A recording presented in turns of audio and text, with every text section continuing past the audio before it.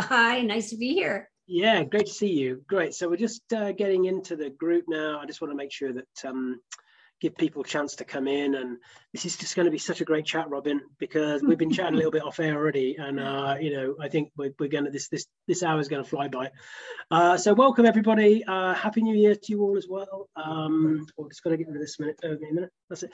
Uh, Happy New Year, everybody. This is our first um, Facebook Live of the new year. So welcome, Robyn. I've had a lot of interest um, for this. I'm just going to wait. Oh yeah, people are coming in the room now. Great. Uh, if you want to say hi, people say hi, and I'll try and do some highs back as I see you uh, come in come into the room. Um, good. So, did you have a nice time over? Okay. Hi, Kim. Hi, Catherine. Did you have a nice time over the holidays, Robyn? We had an interesting time over the holidays. We had a lot of cold weather, and you might have heard of the, the big winter storm that hit Canada. Yeah. And so, while it was minus 30, uh, my daughter Mandy and her husband, who we they they built us a house on our farm, so they came into our house. So we kind of share a farm, but uh, they do a lot of the work, but they had to go away and they got stuck in Vancouver. And so we were extra three days. But other than that, we were lucky. We didn't have any, you know, damage, but it was uh, it was cold and interesting, but nice to be home. Yeah, and uh, Samaris had it quite bad. We, we had a bit of it over here in the UK, but not not in the same kind of way. But I, am glad you uh, were able to kind of manage through that and um, and still manage to enjoy some of the holidays as well. So that's important. Um, right. So hi, everybody's coming in the group nicely there. Oh, Lauren Lauren McCall. Yeah, I think you know Lauren. Um, of course, I know Lauren. Yeah. Yeah. Hi, so she, she's, hi. A, she's a neighbour now, Robyn. How cool is that? I know. Lives, I know. It's so exciting. yeah. So before Christmas, we went on the magical kind of um, Christmas steam train locally with. Uh, with Lauren and Helen and, and, my husband and I, and we had a great time. Uh, so uh, yeah, hi everybody. Everybody's coming in now. Great. Okay, good. Robyn, thank you so much for coming to speak with us today. And uh, we've got a lot I want to talk. So it's interesting for me, you know, we're, we're going to have a little, little, time just to kind of hear some of your kind of origin story, if you like. But um, I always start off asking these questions because I think it's always interesting to find out where people's inspiration comes from, what their journey is, because we all have whilst we all end up in a kind of a roughly the same destination, hence the group, we all have our own different routes through.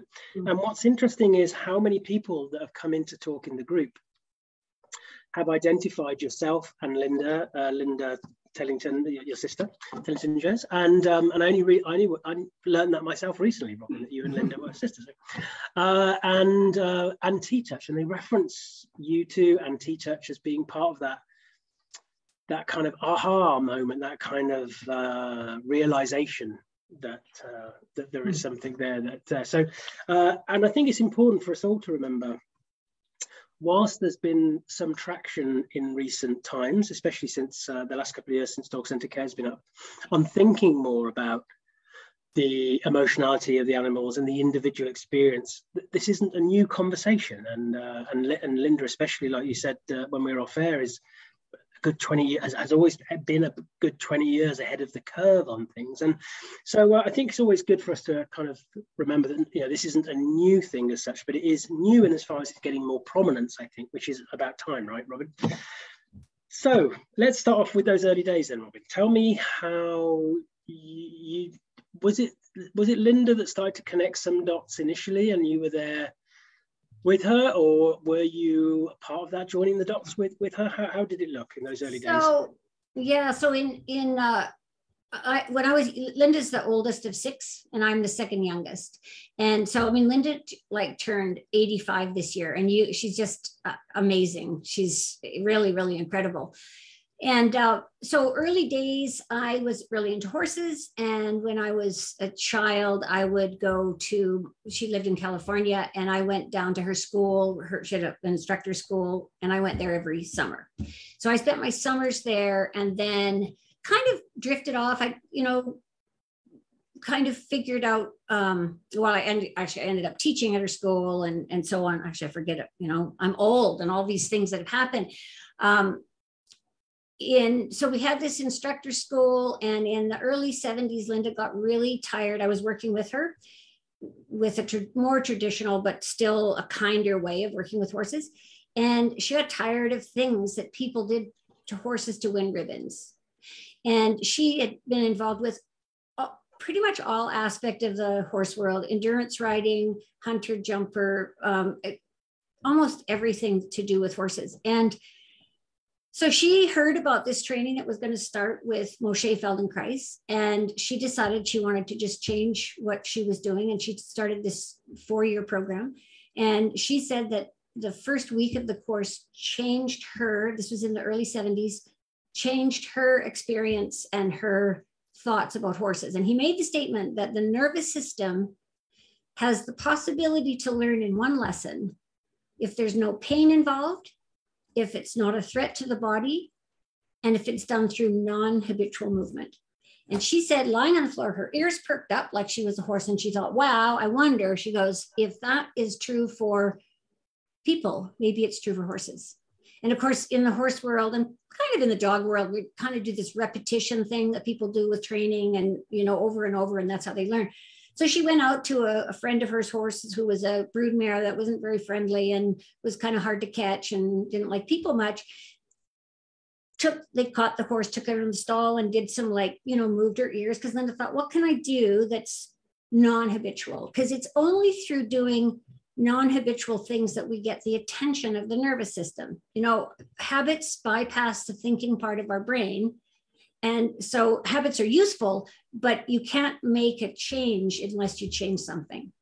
And so anyway, this horse was like they kind of stood back and watched it. They didn't see anything. And then the next day, the person called her and said, "You know, I don't know what you did, but today my horse was at the gate waiting for me, and we." She went in the stall and she, instead of diving into her oats, she stood and looked at me like, Well, are you going to do something?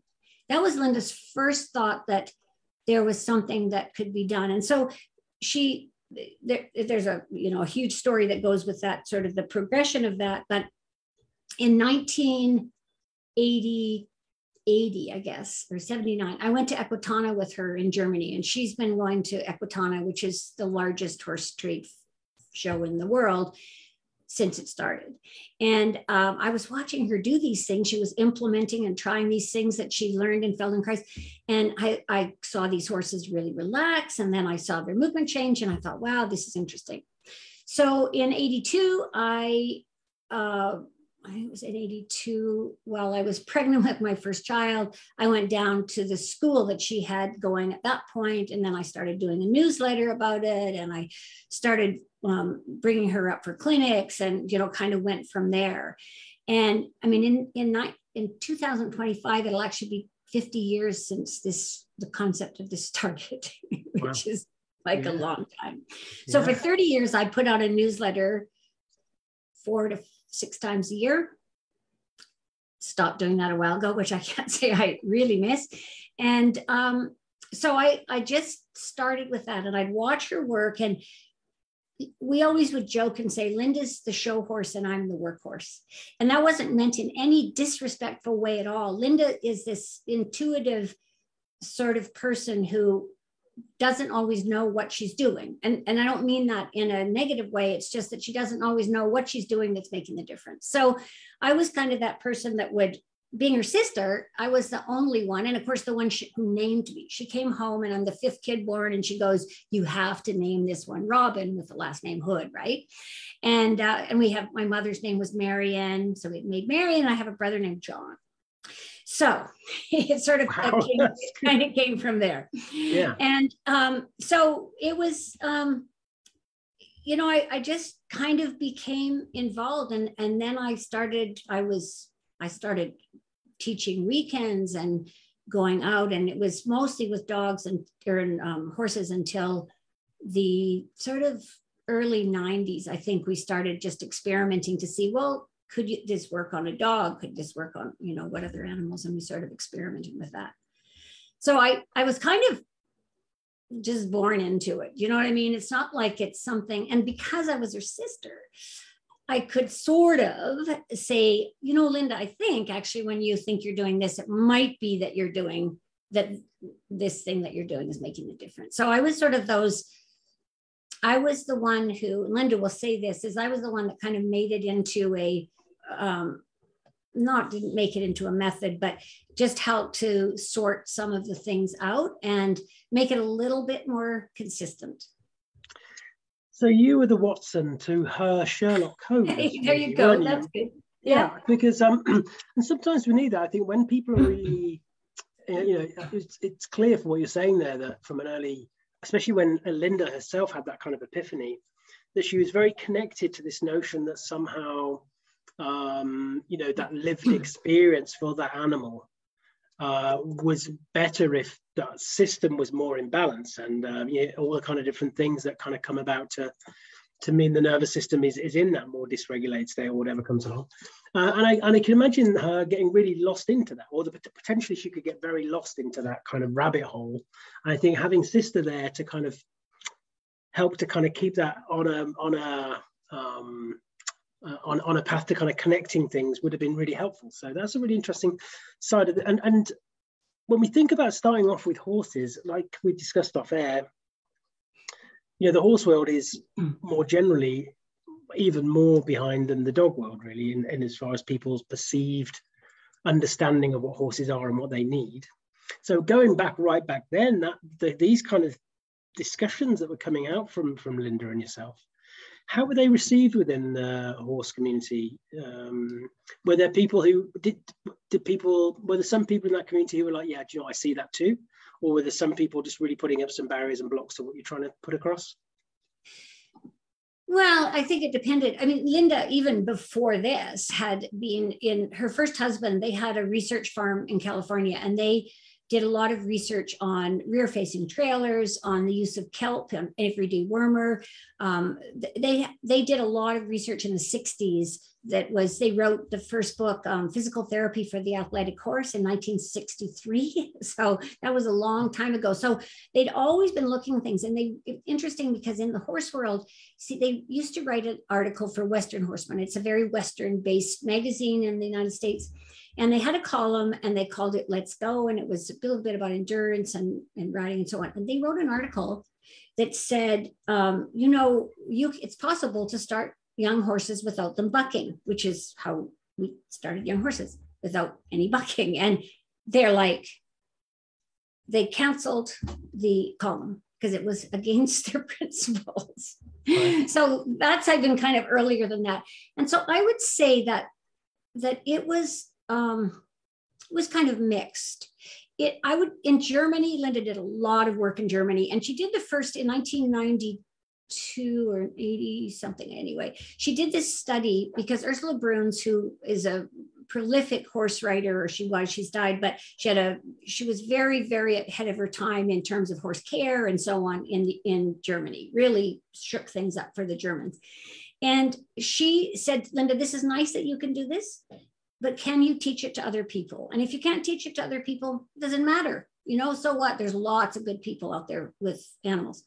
And so they took uh, they took 20 horses that were considered kind of not usable and eight amateur owners and they took four to six weeks and they just went through the groundwork because that's the other thing that people misunderstand about this work they think it's only body work but it's the movement work that really helps to solidify and change habitual patterns. And and that's where the just like with people. Mm. and and so this in in uh, this four to six week course that she did 18 of the 20 horses within three weeks were completely okay for amateurs to ride and handle and so on. And there were two that needed more body work. So what they did is a little bit of the TTouch which didn't really have a name um, and some very mindful groundwork and that's you know slow mindful movement in a variety of ways, which is what the Feldenkrais awareness through movement does to the humans. And from there, that's where it kind of then it started to grow in Germany. And the thing about the Germans is that when they see something that really works, they many of them will just go wow yes I, I, I kind of i've got that so she's worked with some really top top olympic riders and trainers in germany and they you know really um, like the work. Of course, you know, not everybody is going to like what everybody does because, as we were talking about, a there's lots of ways that work, and everybody has to find a way that is resonates with them, that's okay for them, that they're comfortable with, and um, that they if if something's working for you, why would you change it? You know. Do you think it was a help that um, from what you're saying there, the kind of message to the horse community then wasn't look, this is how you should train horses differently. Because if it would have been, there would have been more. Oh, hang on, I train the way I train. Because a lot of this stuff was actually before you think about doing more, have a go at doing this to see what to see what um, state the horse is in then at the end of that to be open to doing what you want to do.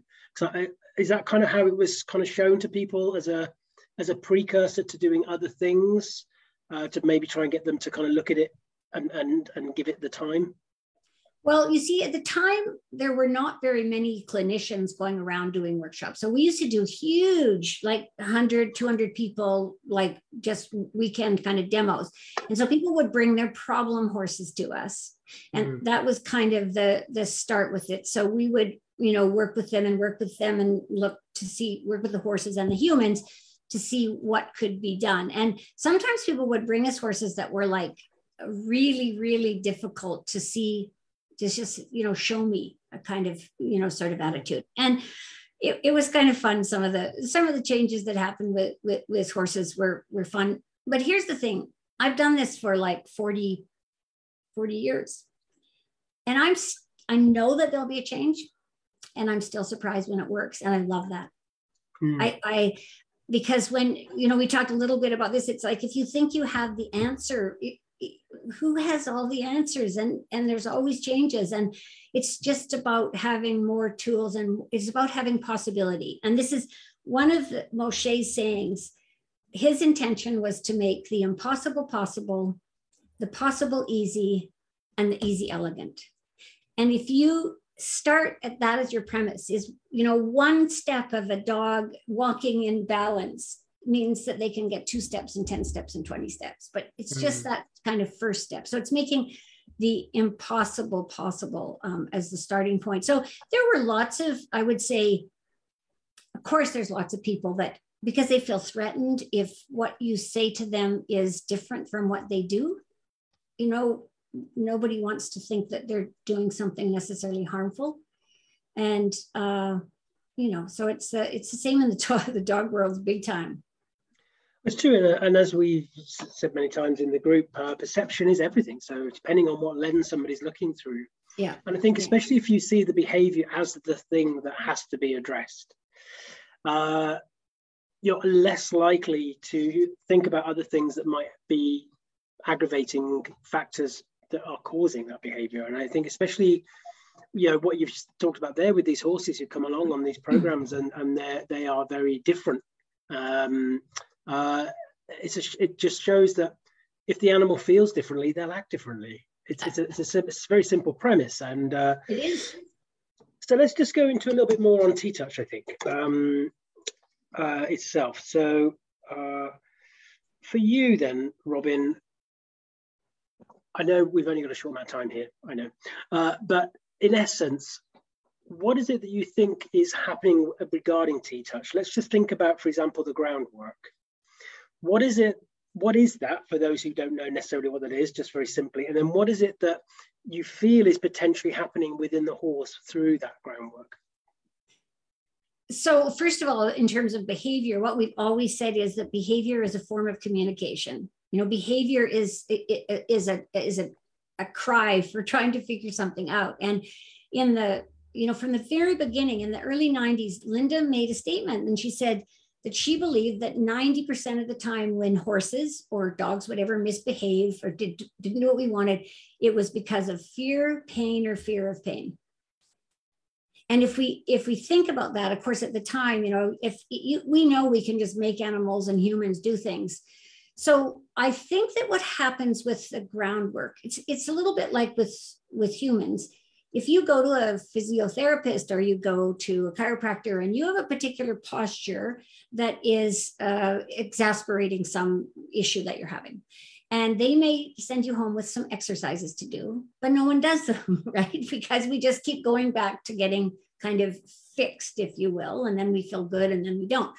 And so the idea with the groundwork, and it really came like Linda's partner at the time, Roger Russell, who's now like one of the top Feldenkrais practitioners in Germany, he wasn't a horse person at all, but he was in the training with Linda, the Feldenkrais training, and he said, let's see what we can do to develop movement in horses that would be unfamiliar. So if slow movement builds muscle at a different level than fast movement does. And it's a more organized way of actually doing things. So thing the labyrinth was kind of the hallmark of what we do. So we have what we call the playground of higher learning. And it can be all sorts of things. The, the labyrinth and various it can be a circular labyrinth it can be a square labyrinth. Um, there's a we, you can add surfaces you can add poles you can add cones all sorts of things to um, whatever you happen to have around and what we notice is that when you take the animals through them slowly, and it's not a forced slowness, it's like, can they come into balance and kind of go through it? That there is a change that happens in their behavior and also in uh, even in, in their movement. You can really see a difference in their movement. And so it's not something that you have to keep doing over and over and over again. So it's because if you can help to change one habit for one that's more functional, it's again, it's not that habits are bad. It's just that you have to do something different in order to change a habit. And so, you know, it's you can use a lot of things and you can have things that I I, I thought about years and years ago. We had somebody in California, a, a student, and she took uh, kind of made this playground and she took it to a park and there were all these people with dogs. And she she charged them five dollars and she said um, all right so i want you to take your dog through this little pattern three times. Now you can't force your dog to do anything. You have to just take them and of course people are like you know how competitive people are. Well my dog should be able to do this or not. So that was so interesting she said because the first time you know some of them were a little bit hesitant and so on by the third time the relationship of the person and their dog was different and there was so much more thought that went into what they were doing. And I, I thought that was such a fun story to be able to, you know, offer people something. And that's what I see that, you know, even some of the ideas, excuse me, various kinds of nose work and uh, whether it's free work or just the kind of whole canine nose thing is I've always said it's something that dogs would sign up for. Now, can't we make things do- things that dogs would sign up for that can also help really build a relationship with their person. And that last bit is really important, isn't it? Because I think, um, uh, as you know, I'm, I'm, good friends with Sarah Fisher, and uh, I got introduced to a lot of this stuff through Sarah and, and up at yeah. T Farm, and uh, and meeting the amazing Annie Biggie, uh, who is who's over uh, doing uh, some co-education with Sarah. And a lot of the time, my, my, big bias is, is, is cognition really and processing because that's just my bag. And i saw that with what i was seeing there because i was thinking this is great because we're kind of slowing down and we're actually inviting the caregivers to be present mm. and to connect. And as i say a lot of those things a lot of that they might come into that with their competitiveness and their kind of need for compliance and obedience that but this the the nature of these exercises means you, you have to funnel away from that and, and that funnel only takes you to connection, which is really quite powerful, isn't it? I think. Oh, yeah. Yeah, it really is. Well, you know, the Greeks used to say about the labyrinth is that you would go in with a question and come out with an answer which I thought is really interesting. And and again, years ago we had a uh, someone it was at one of the classes at Tilley Farm, and uh, she was a did behavioral consultations, and she said she used the labyrinth to help her he, the human and the dog have a relationship. Because she'd say she'd see people that would go into it without any really communication or and then they'd come out on the other end and they had a really different um, level of connection and, and communication which is what we all want isn't it? Yeah and i think it's and it is what we all want. And i think this is the powerful thing about this message and this is why i think it's very important. Not just the one that comes from TTouch but the wider message that we, we talk mm. about now about moving beyond the usual operant kind of toolkits and the usual notion of obedience and compliance. I think the general public have almost been sold this notion of kind of task at all costs. Uh, but actually, they deeply care for their animal and they, they almost need permission or an invitation to think, wow, actually, I can do loads just by being more present for my, my animal and, and being more aware of their care and support needs. Absolutely. And, you know, made me think about, too, again, going back to the horse world, you know, it, I, have had so many people say that coming back to TTouch allowed them to be with their animals the way they wanted to be as a child, but they were told they were too soft. Mm. And they you just have to kind of make them do it. You have and you know it's, it's interesting because I you know I talk about um, horses a lot because that's I've ridden since before I could walk and I've always had horses in my life. And I actually didn't have a dog in my life until 50 some years ago, which is a long time, but I didn't have dogs when we lived in the city because my mother said it wasn't fair to have a dog in the city because she we we'd had dogs when we lived on the farm and she felt that uh, we could have cats but she didn't want us to maybe she had too many kids and we wouldn't walk the dog and so on but she really felt that dogs needed more freedom and i'm lucky enough to live on a farm and i i think I, I feel like my dogs are so lucky. And I, the dog I, that lives with me now was going to be um, was going to be euthanized because of her behavior. And, and a huge part of it was just she has, it's not just about energy, but she needed more freedom to actually have more self control. She's a Husky Pomeranian cross. And uh, she is, she just stays on the farm. And, and I don't, I, I, as I mentioned to you, I've had no formal dog training. Linda used to breed uh, Great Danes, so we always had uh, had dogs they needed to ha- live within the rules that was safe on the farm. That that's kind of the extent of the training. So they need to come when they're called. They need to, you know, get out of the pen if they're in a pen with horses. They need to, uh, you know what I mean. They they. It's just they they're just part of the family, just like all families have some rules. But our dogs have so much freedom, and they don't take they don't leave our property. We have 65 acres, and it's it's not most of it's not fenced in any way that they couldn't just go through the fence and they don't and i dog after dog after dog that's what my experience has been the other dogs say to them too hey you know what it's a good place here we stay here i think that's i think it sounds like an amazing place i'd probably stay there myself uh, really, yeah. really profound there i thought it was really interesting i wrote down um, that particular dog her truth was that she needed more freedom in order to have more more control, more self control. That's really interesting. and I think when we think about the notions of of safety and um, uh, you know th- these kind of things that we think about, we tend to think in terms of physical you know, physical safety. You know, being on a lead, having a fence or whatever. But actually, emotional safety, social safety is, is more important actually to the individual often. And, and I think definitely the case with, with the animals there.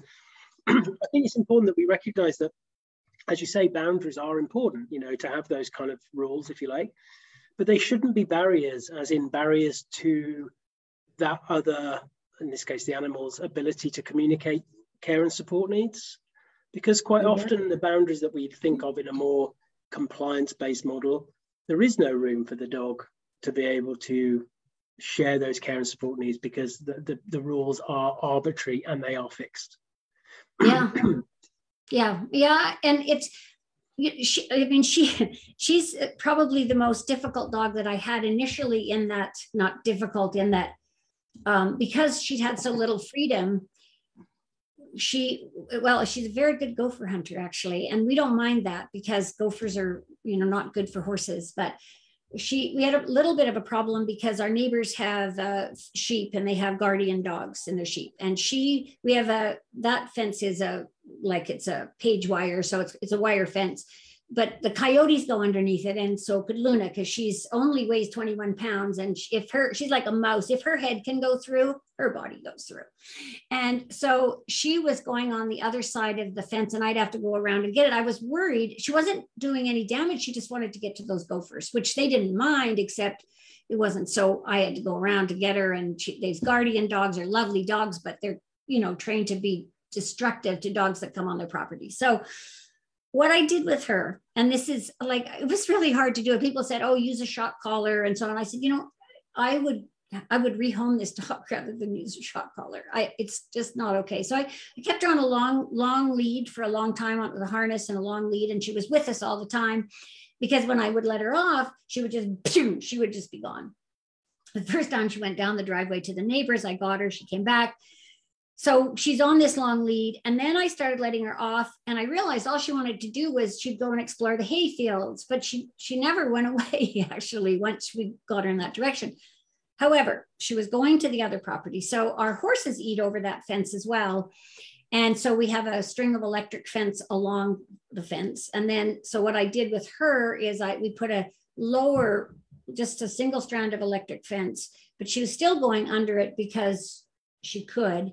And so I put a, uh, like a pool noodle like collar on her. She looked like a little lifesaver. Was attached to her harness so that she couldn't get her head actually through the fence. And I had she wore that for about four days, and then she never went through the fence again. And I felt really badly doing it, but I thought I have to keep her safe, and I I have to you know, kind of do that. And I don't blame her because we didn't happen to have gophers. They were over there and she, you know, they squeaked at her all the time. So, but anyway, that was like, I felt terrible doing it. But then I thought, well, it wasn't, I wouldn't use a shock collar. Uh, there's not a, there's not a chance that I would, that I would do that. And that was the only thing that I could really do. Um, you know? So I think coming back to the, um, um, uh, the what you, what you were saying before about the uh, what you're trying to look at doing with the groundwork with mm-hmm. the TTouch. Yeah. Uh, when we think about the the touches, uh, how did they come about, and how how did that specific way of doing the kind of um, the the so with, with anybody doesn't know TTouch is I'm not an expert here at all, but they're they're kind of circular motion and they always end with a drop. So it's kind of like a round the clock and half a clock and come back down. Is that right? Yeah, kind of. There's a lots of variation. Like there's probably 30 different ways that we can touch them. So that started with uh, with the Feldenkrais work, the functional integration, which is the hands-on part of the Feldenkrais work. They have numerous just gentle movements that they do with the body. And Linda took her four years to learn it, and she thought, well, I can't teach this to people. So, what she says came to her, and I think it was a little bit of a blink moment personally. In Feldenkrais, there's lots of um, clocks, like they do a pelvic clock for an exercise, they can do a shoulder clock, and so on. And she was working with a horse, and she just put her hands on and was just doing these little gentle movements. And the woman, the horse really calmed, and the woman said, What are you doing? And she said, I don't really know, but just put your hands on your horse and just move the tissue in a circle and a little bit and and do that. Now, so the woman did it and she could do that and it without sliding. So you're moving the tissue rather than sliding. I think that when we have a sense of mindfulness of the contact we made, because I, will often say to people, when I watch some people interact with their dogs, if they did that to a person, they would be charged with assault. and people don't mean to, but you know, you get an overly aroused dog, and then people start to get overly aroused and they ruffle the dogs or they pet the dogs. And I actually haven't met many dogs that that that don't prefer a, a slightly more mindful kind of contact. And so hmm. I would say to people is it doesn't really matter like if you can just be pay more be more aware notice the small things that your dog does slow down a little bit. And that's having different touches. And we kind of watch people and see how do they make contact to start with? And can you give them some way to make contact that's similar but slower and a little different? And because it's hard for us to change our habits as well so what we noticed with all these different touches, like the, the tips of your fingers, for instance, will make this circular motion more direct. It'll make it in a smaller area. So you might use that with um, when you a horse a dog has to get an injection or a microchip or you you know some sort of area or you need to put drops in the eyes or the ears you can just do these really really light touches kind of around the area if you want to be more soothing, use more of your hand. So you can use the whole of the hand, creates more warmth. So we have this whole family of circles that we do. And they've kind of expanded and expanded because some people, maybe you have arthritis in your hand. So it's going to be hard for you, or maybe you've done lots of deep tissue work. So you, all you know is this like quite firm contact and, and you want to be softer. Well, maybe if you use the side of your hand or the back of your hand, you'll be softer. And then we notice how does the animal respond? And, and it's really only, it's where is the starting point for the animal? You know, where is the starting point mm-hmm. that the animal goes, yeah, this, this contact is okay. So that's really important what you've just said there, I think. So I think a lot of people who might have heard of TTouch or see some of the things that are, that are talked about might be reluctant to have a go at some things because they're worried about getting it wrong or I don't know how to specifically do it like it's some kind of you know ancient art uh, of doing right. it. But actually what you're saying there is everything's kind of okay as long as you're very present yourself and you're very mindful and you're waiting for that feedback from the animal all the time. Yeah. And it's the pause that allows an animal to give you feedback. Mm. If if we never stop, and I and and and I mean like pause and kind of you know step away. And it's why i don't use heaps and heaps of food when i'm working with them. I will for certain things. Um, i sometimes see well and, and, even for touch contact i remember i was watching this this dog and we were i was teaching this person some touch at a evening workshop. And she was using food paired with everything that she did, every touch that she did. And, and, but I watched the dog and I thought, the dog's actually not okay with what you're doing. It's just doing it because you're giving it food.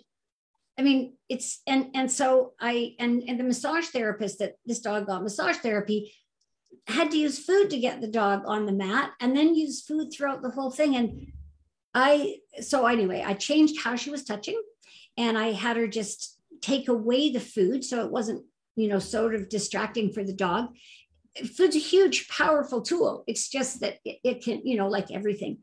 And uh, then the dog was really okay because she then paid more attention to how she touched so the dog could actually give her feedback about what was okay.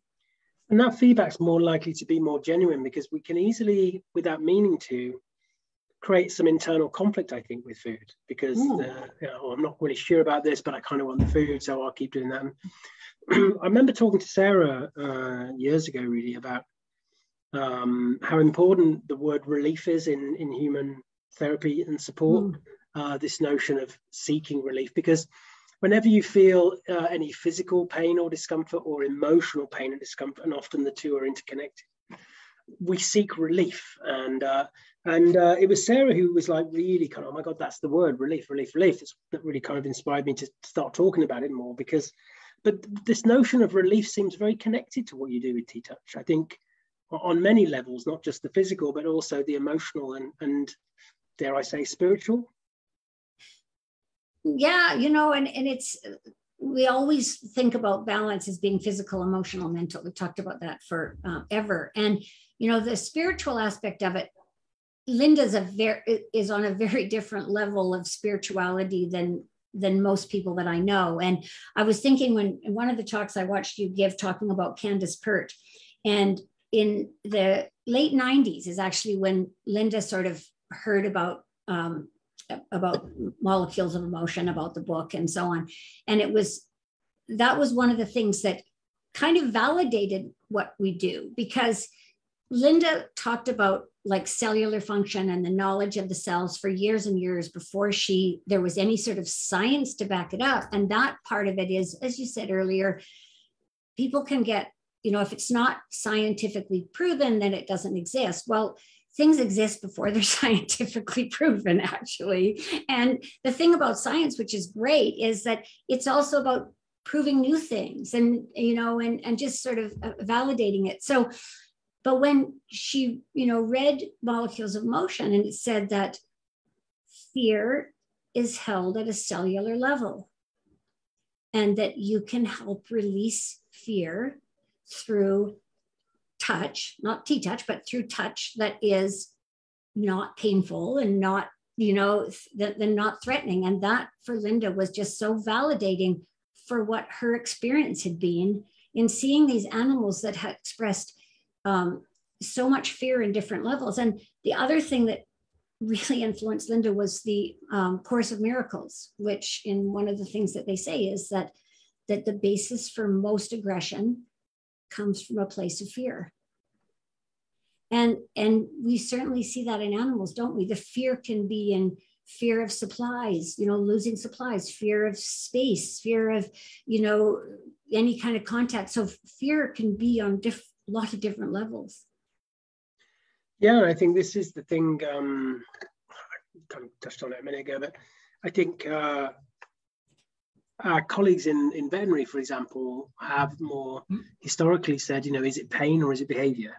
But actually, that just isn't fit for purpose now when we look at it. I talked about, I was lucky enough to talk at the London Vet Show uh, in November last year, and that's what I was trying to present really that the only the only question we need to ask is is this physical pain and discomfort or is it emotional pain and discomfort and yeah. say both are both interconnected there and i think when we think about how much especially for us and dogs uh, i don't know about horses so much but um, because we are our brains are heavily kind of uh, kind of skewed towards uh, safe social connections, you know, the need for social safety. Uh, there's a lot that goes on, especially for dogs, where that social safety is compromised a lot. To their ability to be able to process safely what they need to do, social processing, mm. um, which is different, of course, to social engagement. I think a lot of dogs just have to endure a lot of social engagement that they haven't necessarily been ready for or processed. But all of these things, you know, when we think about how uh, actually, even now I see some things, uh, Robyn, uh, which isn't very helpful, I know, but where people might poo-poo TTouch or or or, or, or variants of TTouch. But actually, I think the science is, is more and more there to support it. We talked earlier about you know, we don't have to wait for the science on everything, but when we think now about what we know about um, social threat evaluation in the brain, when we know what, about the role of trauma, when we know about the role of attachment, when we know the role of the nervous system and um, and uh, how um, you know, especially with young the younger animals, how dysregulation plays a big part in, in their developmental aspects. All these things are very heavily related, aren't they, to TTouch, I, I would say, and what you've been talking about all these years, which is we've got to, you know, if, if that animal is constantly not being able to feel safe, not being able to communicate their yeah. need for that safety, that will have an impact upon that animal's nervous system and their physiology over time. Oh, absolutely. And it's, you know, this ideal of feeling idea of feeling safe is nothing new. You know, that whole hierarchy of needs, the number one need that has to be met is is feeling safe. And I don't care. It's not just for humans, you know, it really mm. is. Um, and and it's something that, you know, we don't always consider or you know, I, I, always say that, I mean, horses and dogs, the thing about horses and dogs is they are the ones that we have the highest expectation of behavior for. So um, we also have a cat, and, and you know, I will say to people sometimes. So imagine if your, um, you know, your cat might jump on the counter because they get food there, or there's some reason, and you might go, "Oh, bad kitty, get off," or you might say, "Here's your food." If your dog jumped on the counter, we would like, you know, freak out because for all sorts of reasons so we have this expectation even higher than for humans you know we expect that a mm-hmm. dog and a horse in particular are going to be pretty much the same every day when we you know we give them a command to do it or we ask them to do whatever they've done yesterday and they should do it exactly the same way i, mm. I just don't i don't I don't get that. That that would be nice, maybe, but I don't want a robot for an animal. And there are so many reasons that animals may not be able to comply with what we what we ask them to do and we take it so personally and that's the thing i think uh, you know uh, having spent time with sarah say at Tilley farm and uh, you know for me that was a big thing because uh, i felt that i had a connection to dogs but sarah gave me a, a, a, an even bigger lens to look through about what yeah. that experience might be and uh, i think um, we have to recognize that anything we ask of another is ultimately a request because like you say that the, the, i think the, the issue for the general public is they've been convinced that the most important thing is a well-trained obedient dog and it's not that it's not important to do training but everything becomes a, an obedience issue now hmm. whereas in fact it's the animal trying to communicate something else that is now being overlooked and, and being missed and i think um, uh, and it's always trying to work out, I guess, what is the primary and what is the secondary for a lot of these animals. Again, spending time at, with Sarah at Tilley Farm, seeing the um, seeing the things that some of the things that was being shown through the free work about the animals potentially, and Sarah always talks about the question mark, you know, about the fact that the animal might be seeming a bit tense somewhere, or might be holding uh, some tension in, in, a certain part of their body. Yeah. Uh, all these things have a big impact, don't they, on the individual? I would think because I know myself uh, when I get stressed. So this is the kind of chicken and the egg thing, isn't it? But yeah. I know with myself when I get stressed, I start to really feel it through my shoulders and my lumbar area that then has a, a knock-on effect because I'm, I'm my own kind of posture is affected. Mm. Uh, but I have the opportunity to think, oh, actually, I need to rest, or I need to change my posture, or. I hmm. need to, mm. to, take some medication. But I'm not having a, a, lead and collar put on me every day, and being made to go out for walks, and being told to yeah. sit down every two minutes, and all these kind of things. And uh, you can see how so many of these animals, just over time, things start to get really complicated for them regarding their ability to get back to that more to go through that homeostatic process to get back to a, a normalish state, you know? Yeah, or or or it just becomes their reality, just like with people. You know, it, it doesn't it's i mean i think it's important that we teach our animals about resilience as well you know so i think it's okay to expose animals to small things like the whole concept of the sort of feldenkrais work is that um, if you have this bubble, if you're okay in this in, right here, and if we just keep them right here, that's where they're going to stay. But if we can offer them, and this is one of the other things that the, the playground of higher learning does. So maybe they find the labyrinth a little difficult. So what can you do? Oh, you make it bigger, or you take them away from it, or you kind of do something else. Um, if you can start to step them out of their comfort zone just a wee bit and then take them back in, that is one of the that's part of the novelty of being able to kind of create more resilience because we we kind of have a I, I feel like we have a, a responsibility to our animals to help them be as resilient as possible God forbid something should happen to you or me and our animals had to go and live somewhere else.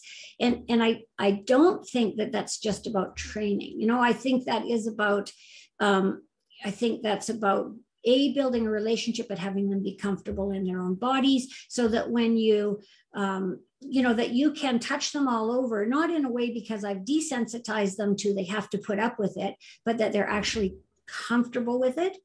I think that makes a huge difference to because we're looking to help animals learn how to learn. And and that's is so that when rather than a, an education of training, but learn how, how can they, can they learn how to, how to learn?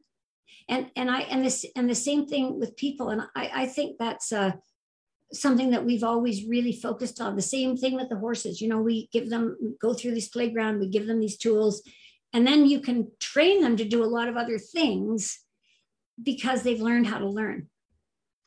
I love that. Learn how to learn, and and I think uh, you know um, there is a big difference between what we're taught and what we learn, you know, I, I, on a very fundamental basis. And, and as, as a species, we're very kind of biased towards structured learning. That's why we put kids through school and go to dog training classes. But actually, Mother Nature, from another nature point of view, it is that notion of experiential learning and and feeling safe to be able to learn, and especially when you're younger, to be able to um, be in a more dysregulated state, but still feel safe and have those safe anchors. That's very important because it gives confidence then to be able to self-regulate better when you're older. And I, and I mm. guess some of the things you've said earlier on, um, when we think, because we talk, we're talking a lot more about self-regulation now and what that is, and and and the mechanics that need to be there, both neurologically and physiologically. But uh, going back to sort of Candace Pert's work, really, if we don't have that free-flowing system and we get those blocks, those kind of neurochemical blocks that can build up, then actually the just the just the actual act of self-regulation becomes harder. Mm. You know, I hmm. see this a lot with um, dogs who have gone on to have diagnoses, especially neuropathic issues. Um, I've got an amazing physio that I work with, Kate Davey. I'll be lost without her, Robyn. To be honest, I think uh, she's amazing, and and um, she picks up on a lot of stuff. Uh, and um, uh, you can see why that dog really struggles to settle until that release has come, that relief has come. then they can find that normal kind of elevation decompression pattern. And that's an important um, thing for a lot of these animals, I think, that we see as being problematic or challenging. Uh, and you found that with your dog, obviously, that came to you. You know, that dog just needed more freedom. It wasn't a case of doing loads of training. It was a case of that dog being able to have those kind of natural outlets to allow some of that decompression to happen for themselves. And the sniffing, you know, like because we have, I think that, you know, and, and I, I had a, actually a, a friend who got a, she had a standard poodle who had lots of issues as a puppy and, and because of COVID and, you know, there were lots of things, didn't have enough, you know, exposure to different situations. So she brought her out here because Luna would, would play with her. But what we ended up doing was actually just going for walks in our field. And because uh, while Luna will play with another dog, she doesn't like hard play. She doesn't do anything. She'll meet that dog, but they did lots of sniffing, lots of sniffing, and mm. and it, you know that that freedom to explore their environment, a very natural environment, is is was so helpful, and I, and it's just even the whole thing of sniffing. I mean, you know, there's still people that take their dogs for their walk and they don't want them to sniff. It's because it's inconvenient at the time, but you know, we know, we know there's so much research about the importance of allowing dogs to have that. Um, the, the walk is for the dog, as far as I'm concerned. And so mm. being able to, and you know, do their P mail and all that kind of stuff when they're walking along, I think is, is, is so, so important. Yeah, and I think this is the this is a common theme, isn't it? I think on a lot of the different threads of of things that we're talking about. Um, with this kind of, as I say, new in inverted commas narrative, it's not new, but uh, which is about kind of slowing down and giving the dog the opportunity to process and giving the dog opportunity to engage with the environment in a way that they feel they need to, predominantly to feel safe, I guess, and also to kind of process well.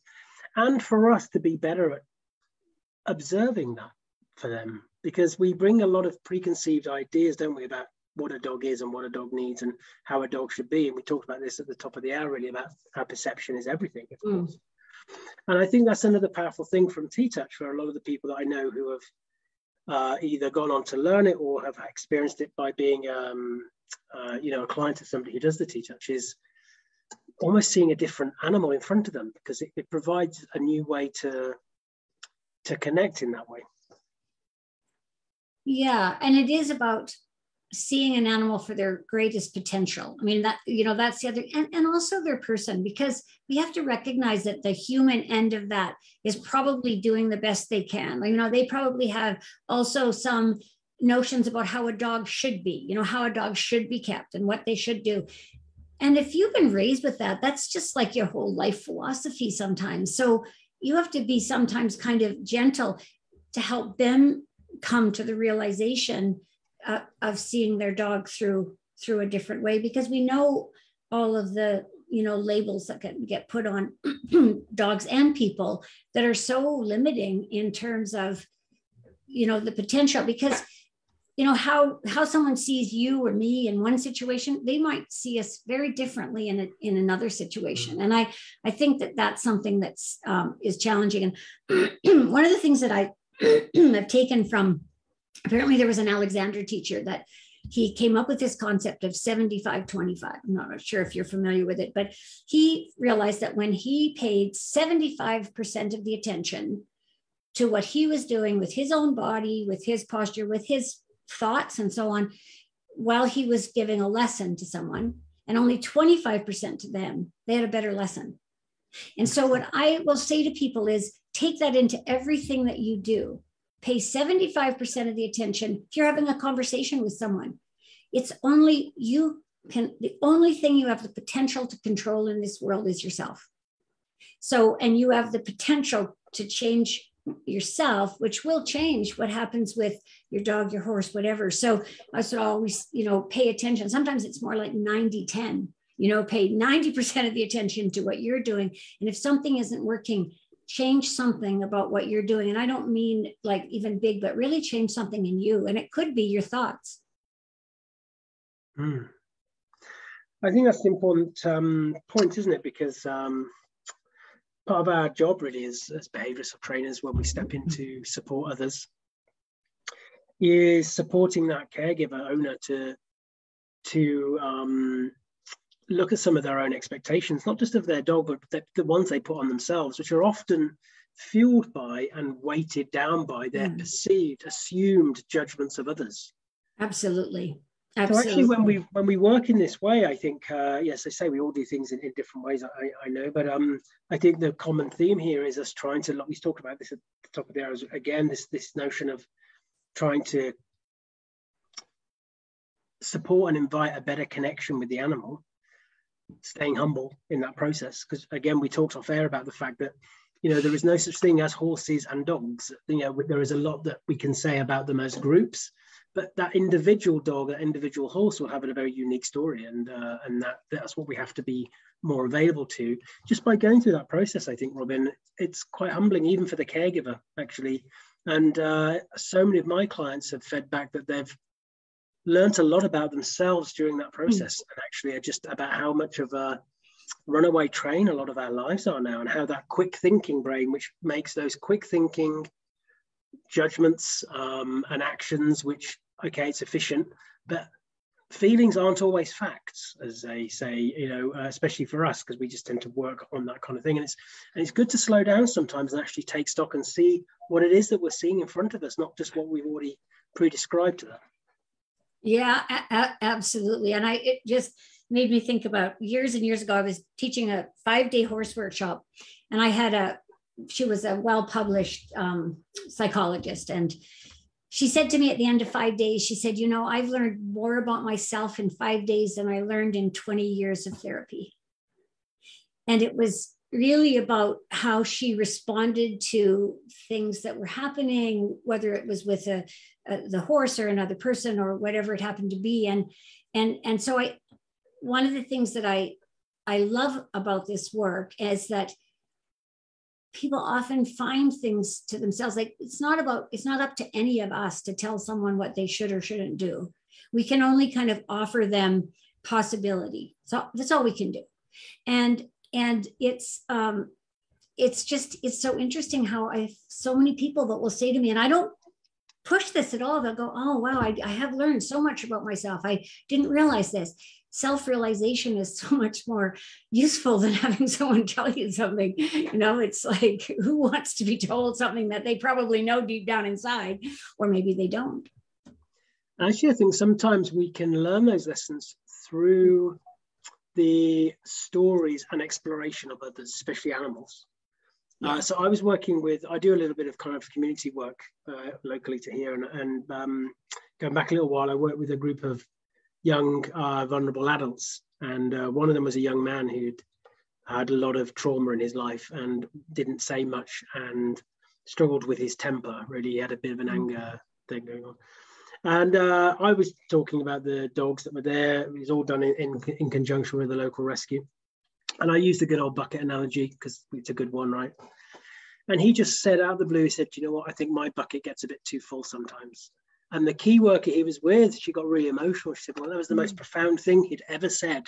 Yeah. He saw it in that moment when we were talking about dogs and why sometimes dogs might do things that, you know, in the spur of the moment when that bucket's a bit too full, because we can all do that. So I think it's powerful, Robyn, and I think it can help us because there's a lot of things that come along with uh, our societal the societal expectations, which that's a different story. I'm not saying we shouldn't have those, but a lot of us are kind of forced into a conformist model regarding various outlooks and and it can be quite liberating sometimes to think wow actually i can see things differently and i can mm. allow that care side of things to come in yeah. so what what do you think is next then because we talked a little bit a bit earlier about how TTouch has kind of evolved o- over time and uh, you know like say 40 50 years in the making really where, where do you see the future here what what is um you know if you had your little Robyn uh, you know, uh, crystal ball? Oh, good question. Uh, you know, it's it is interesting. COVID was, I know, difficult for so many people on so many levels. For me, it meant instead of traveling five months out of the year for the last 30 years, I was home. And so I had a chance to take, we took a lot of stuff online. And I, I really, I think that for me, the, the ideal would be teaching people partially online and then partially kind of in person because it's so much. There's a lot. There's a lot of advantages of it, and we didn't really know if we can teach it. So I think it'll just be continuing to do that. I won't travel nearly as much. I just got back from Australia. Um, I'm going to go to Europe in uh, in the fall. I might go to South Africa, but nothing like I did before. Uh, I love actually connecting with people through Zoom, and we've had amazing. We just did not know if it could work. We have an amazing um, student in India who is just she'll she'd never have the possibility. And so my aim is that to be able to get this out to as many people that want to learn any little part of it, because the reality is you can even if what you do is just change something about about like anything about what you do change a little bit of your mind we have this saying change your mind change your dog. You know change the labels we put on the dog. Change some little thing of how you do something. It doesn't have to be exactly how we would do it but that can make such a huge difference to uh, to animals and to people. And it's you know it's really um, that's kind of where I see Linda doesn't want to travel very much. She'll travel for shorter periods of time now, and and do um, and have more people out there doing it. You know, and just having people recognize uh, the potential of how they can also help themselves. And that one of the things that when you were talking about the you know working with the um, in the community, Linda used to uh, go to South Africa, and one of the things that she taught, she went to Soweto and some of the AIDS orphans. She taught them the heart hug, you know, which is basically just, you know, putting your hand on your chest and taking a breath and moving the tissue in a circle and a quarter with a little pause. And what it did for them is it gave them something that they could do to help themselves. The same thing with things like, you know, the ear TTouch when you're feeling sick or you're feeling really unwell, just like stroking your ears carefully can make such a difference. If you're feeling really emotional, doing some touch around your mouth, like for the, you know, when your people get really overwrought, that can actually help. And it's there's a physiological thing that's changing. And uh, so I also I think that one of the challenges with TTouch is being most methods of body work on animals have come from people, and this has gone the other way. So people mm-hmm. didn't know what it felt like. But when we have people actually feel like how you can do touches on yourself and have a huge impact, and uh, and then they realize that this seemingly innocuous looking thing that we're doing can have a huge impact. And that's a really nice kind of bring us full circle, really, because you said um, at the top of the hour that Linda really wanted to make sure that whatever it is that was done, people could do it themselves. And that's the ultimate version of that because you can do it on yourself. You can you can apply it to yourself. And this is where we we share so much with dogs, horses, any other kind of mammal, really. I guess uh, maybe all animals. I don't know, but mammals especially.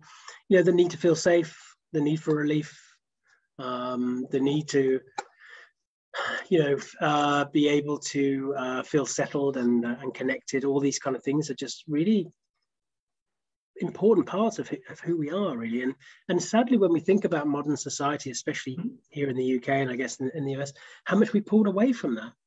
Uh, it's interesting because I've, I've got a human therapy background, and uh, people have, have said, well, it must have been easier working with humans because obviously they can speak to you and, and everything else. But do you know what? Actually, humans are so much harder, and it's a shame, Robyn, that we've got to this point that even with our huge intelligence and our ability to talk and all the structures that we have, that we find it so hard to communicate and identify emotional need.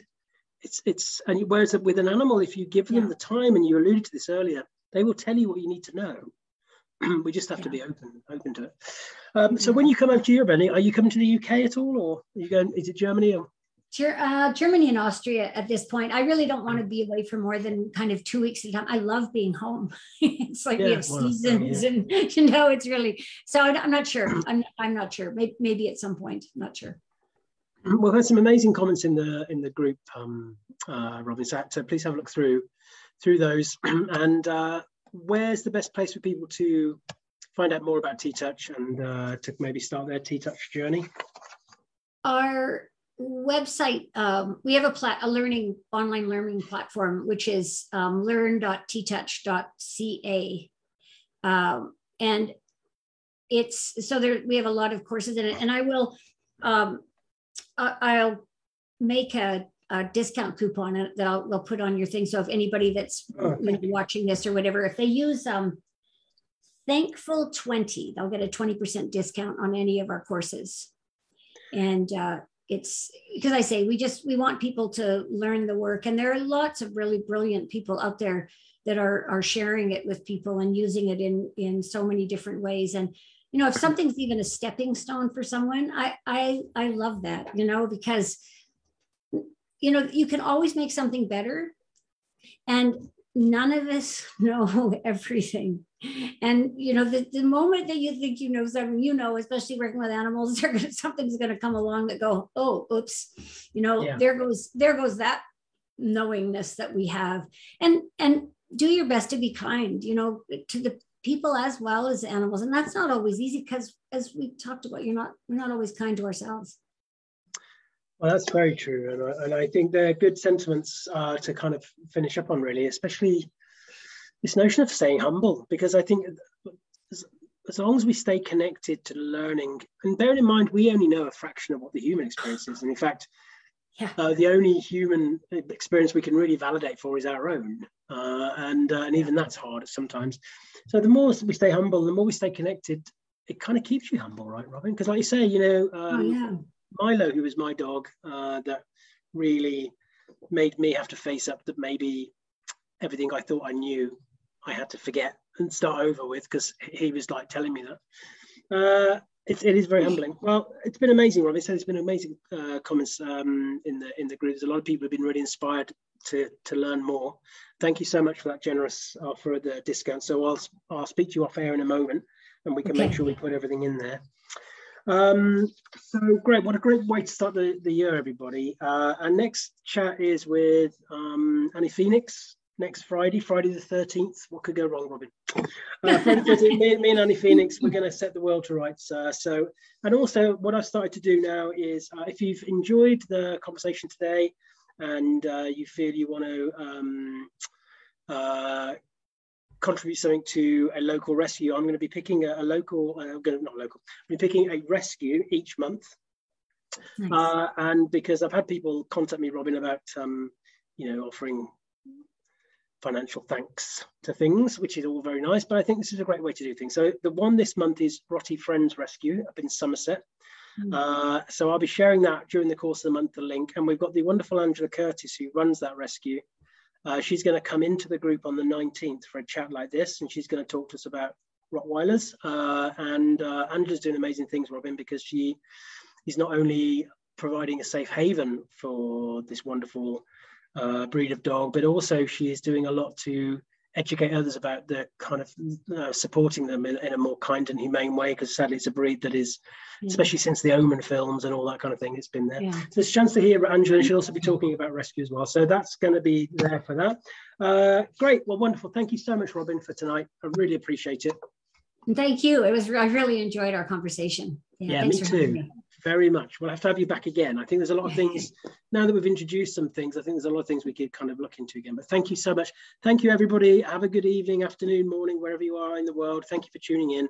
And I'll see you next Friday, hopefully, uh, with Annie Phoenix. Uh, thanks, Robyn. Thank you.